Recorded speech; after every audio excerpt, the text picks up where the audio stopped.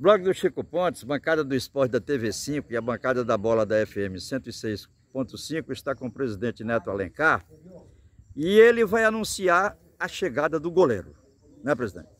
Então, Chico, é realmente o, a gente fechou com o goleiro, é o Pedro, né? Pedro Teixeira, o Pedrão, que está vindo de Maringá, né? Chega na quinta-feira aqui de umas 10 horas da manhã. Presidente, além do goleiro, tem um outro reforço surpresa aí.